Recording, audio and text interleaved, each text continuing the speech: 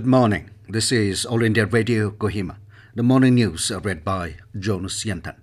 NDA presidential candidate Droupadi Murmu has scripted history by becoming the first tribal leader to be elected as the president of India.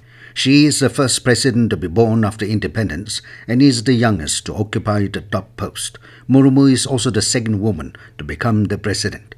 Murmu won by an overwhelming margin against Sinha after receiving over 64% valid votes in a day long counting of ballots of MPs and MLAs comprising the Electoral College to succeed Ramnath Kovind as the country's 15th president.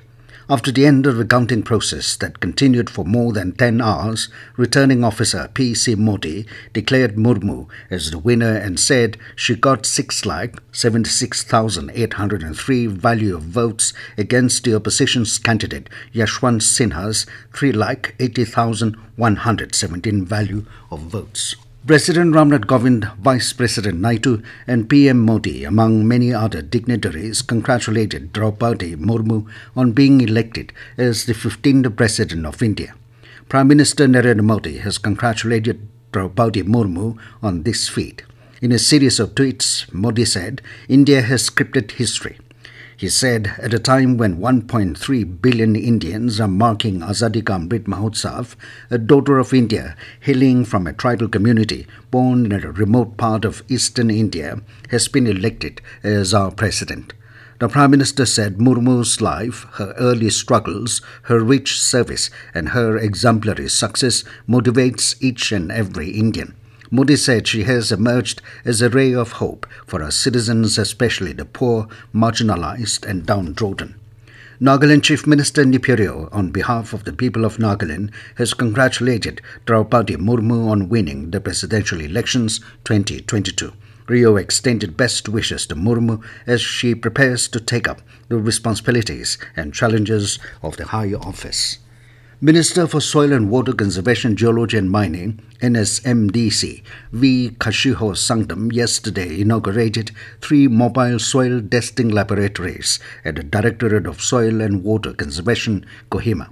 Speaking at the program, Kashiho said that the state now having three mobile soil testing laboratories, in addition to the soil testing laboratories in all the districts, will aid the farmers in monitoring the health of the soil and apply location-specific management practices stating that Nagaland is primarily an agrarian state where more than 70% of the population is engaged in agriculture, he said one must realize that successful agriculture is dependent on healthy soil to produce food sufficient to feed the ever increasing population. Kashiho also informed that the state has block level mini soil testing labs coming up very soon in all the blocks, which will cater to the soil testing needs in remote areas. He also said efforts are being made to issue soil health cards to all the farmers in the state in a phased manner and also assist the farmers with organic fertilizers, biofertilizers, and micronutrients basing on the soil test report so that the health of the soil can be monitored and managed properly. Kashiho said this will keep the soil alive and healthy for sustainable production. He added that two biofertilizer production units at Rotimi village in Zunheboto district and Seyuchung town in Kiphire district will be functional in a few months. Kashiho said proposal for another 10 biofertilizer production units are with the Finance Ministry for consideration.